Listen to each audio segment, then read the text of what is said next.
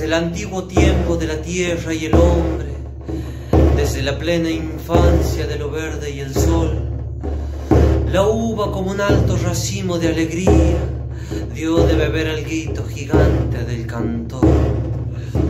Por eso es que la copla maternal de la Rioja estalla en el vino rojo como una quemazón y sube en sangre cuando el lagaretero pisa la primavera y siembra el corazón.